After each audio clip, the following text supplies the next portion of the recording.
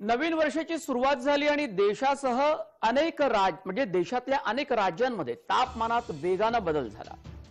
याचे पडसाद मुंबई आणि पुणे शहरात सुद्धा पाहायला मिळत आहेत सध्या मुंबई आणि पुण्यात सर्वत्र धुरकट वातावरण जाणवत आहे एकंदरीत मागच्या संपूर्ण आठवड्या आठवड्यात तीन वेळा मुंबईच्या हवेची गुणवत्ता ही खराब झालेली पाहायला मिळाली. त्यामुळे या महानगरातील रहिवाशांचे श्वास घेणं अत्यंत कठीण झालेलं आहे.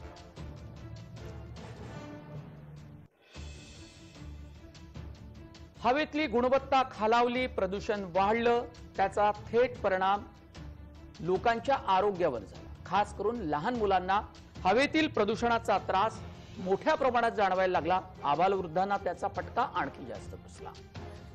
आधी पाहूया. मुंबईचे आमचे प्रतिनिधी अजय माने यांनी या वाढत्या प्रदूषणाचा घेतलेला आढावा आणि त्यानंतर काही आरोग्य तज्ज्ञांशीही आम्ही बातचीत करणार आहोत त्यांच्याही काही प्रतिक्रिया आपण या संदर्भात पाहणार.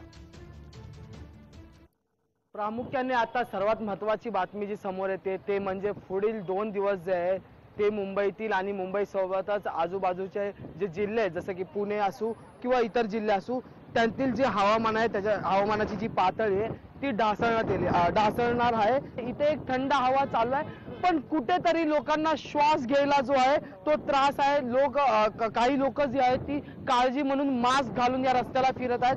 पण त्याच वेळेत आपण जर पाहिलं तर आपण वेळोवेळी असं म्हटलं जातं की भारताची जी राजधानी आहे दिल्ली त्याचा जो हवामान हवामानाचा निर्देशांक असतो तो प्रत्येक वेळी खाली प्रत्येक वेळी वाढलेला असतो आणि त्यामुळे दिल्लीचं हवामान हे वाईट आहे. पण आता जर आपण पाहिलं तर मुंबईतील बीकेसीचा भाग असू किंवा मग मुंबईतील बीकेसीचा भाग असू जिथे डेव्हलपमेंटची सुरुवात जोराने चालू आहेत. वेगवेगळे मेट्रो स्टेशन तिथे बनतात आहे. तिथलचा एक सगळ्यात जास्त आहे. त्याच जोडीला मालाडमधली मालवणी असो किंवा माझगाव डॉक मधला जो परिसर असो तिथलचा एक ची पातळी जी आहे ती वाढलेली आहे. अजय माने जय महाराष्ट्र न्यूज मुंबई. हवेतल्या प्रदूषणामुळे दिल्लीवासी गेल्या अनेक वर्षांपासून त्रस्त आहेत. पण हा धोका मुंबईला तर वाढलेलाच आहे. पण तो पुण्याला सुद्धा वाढला.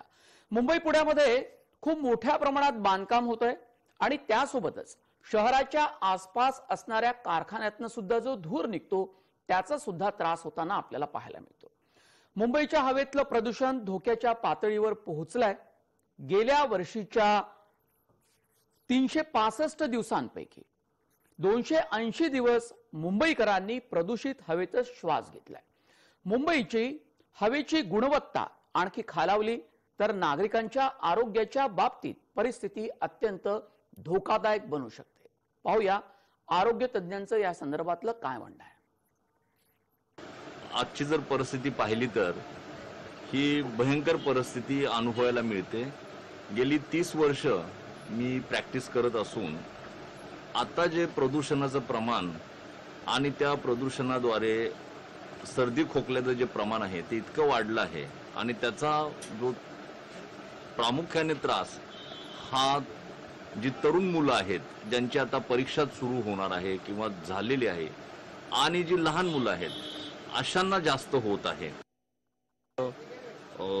हळदीचं पाणी जे गरम पाणी असेल ते पिऊन किंवा मग सकाळी रोज उठल्यानंतर आपण गार्गल करायचं जे जरी फक्त गरम पाण्याने गार्गल केलं तरी चालू शकेल.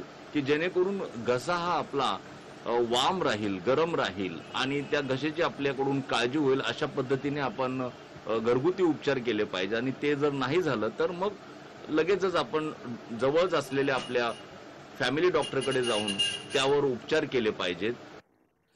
वाढत्या प्रदूषणामुळे आता प्रत्येकाला जगणं कठीण होत आहे यामुळे श्वसनाचा त्रास वाढत असून यामुळे रुग्णांची संख्याही वाढते. आहे या सगळ्याची काळजी घेत प्रत्येकानं मास्क वापरणं आणि पर्यावरणाचा ऱ्हास होण्यापासून थांबवणं इतकंच आपल्या हातात. या संदर्भातला आणखी तपशील आपण पाहूया.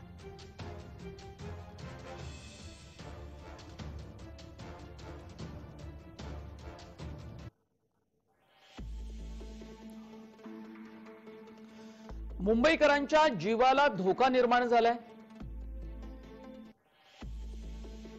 प्रत्येक श्वासातून धोक्याची घंटा वाजते.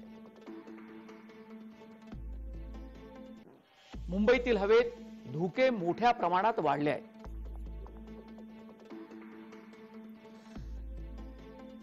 गेल्या महिनाभरापासून हवेत धुके वाढण्याचं प्रमाण हे जास्त झालं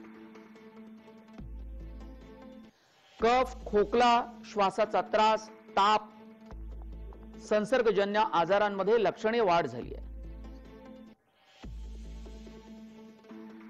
तापाच्या रुग्णांमध्ये तीस टक्क्यानं वाढ झाली आहे.